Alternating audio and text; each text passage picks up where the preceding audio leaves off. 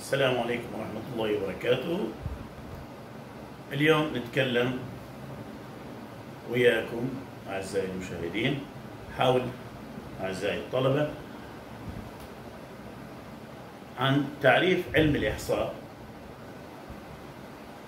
وهو العلم الذي يهتم بجمع البيانات وعرض البيانات وتصنيف البيانات وتبويبها وتنظيمها وبالتالي الوصول إلى النتائج لاتخاذ القرارات المناسبة لحل مشكلة معينة ندرسها من خلال آه، تحليل الإحصائي.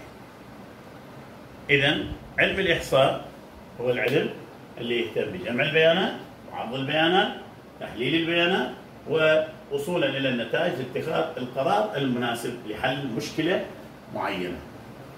علم الإحصاء من العلوم اللي تحتاجها جميع العلوم الأخرى. ماكو بحث بأي تخصص كان إلا ويحتاج أنه بالجانب العملي مالته بالجانب التطبيقي بالجانب الميداني أنه يحتاج أن يسوي تحليل إحصائي من خلال المقاييس والوسائل الإحصائية المتعددة. وبالتالي علم الإحصاء من العلوم المهمة جدا اللي تحتاجها جميع العلوم الأخرى. نرجع مرة ثانية لتعريف علم الإحصاء. هو العلم الذي يهتم بجمع البيانات وعرض البيانات وتنظيمها بعدين تحليل البيانات ووصولا إلى النتائج اتخاذ القرار المناسب. علم الإحصاء يقسم إلى نوعين إحصاء الوصفي والإحصاء التحليلي.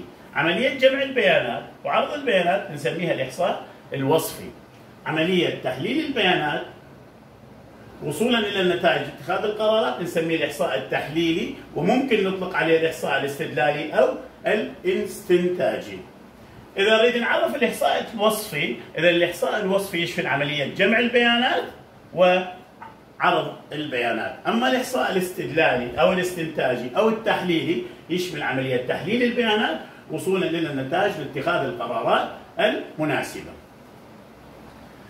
علم الإحصاء آه، نستفاد منه في جميع العلوم الأخرى لأن نحتاجه في تحليل أي بحث آه، في أي تخصص معين. إذا كان البحث في الجانب الطبي نسميه إحصاء حيوي. زين؟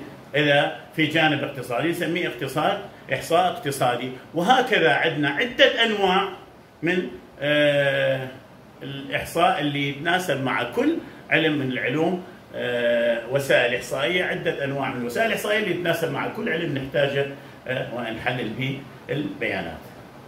إذا علم الإحصاء هو العلم الذي يهتم بعملية جمع البيانات وعرض البيانات وتحليل البيانات ووصولا إلى النتائج لاتخاذ القرارات المناسبة. جمع البيانات وعرض البيانات نسميه الإحصاء الوصفي أما تحليل البيانات ووصولا إلى النتائج واتخاذ القرارات المناسبة نسميه الإحصاء التحليلي أو الإحصاء الاستدلالي أو الإحصاء الاستنتاجي. الدكتور عبد الحكيم جميل شكري الجامعة المستنصرية تدريسي في الجامعة المستنصرية كلية العلوم السياحية قسم إدارة الفنادق.